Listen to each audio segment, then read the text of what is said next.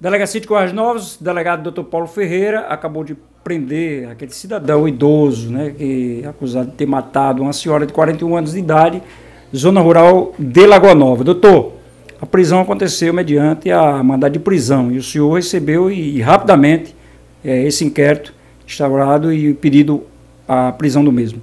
Isso, é importante dizer que desde o atendimento dessa ocorrência pelo plantão de Caicó, né, é, diligenciamentos foram, foram efetuados no sentido de prender esse idoso em flagrante. Né? Todavia, ele embreou pela mata e passou dias aí foragido, e, mas desde a segunda-feira, com a instalação do inquérito policial, a gente produziu provas e, e elementos de convicção que levou a, a sua decretação de sua prisão.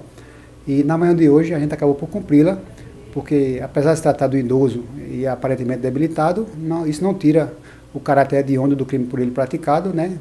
Um crime repugnante, você assassinar a própria companheira com um golpe de faca peixeira.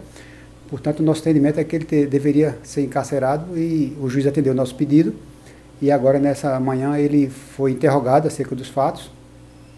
Alegou que não, não houve premeditação, mas admitiu que tirou a, a, vida da vítima durante uma discussão no, no ambiente em que eles conviviam. Né?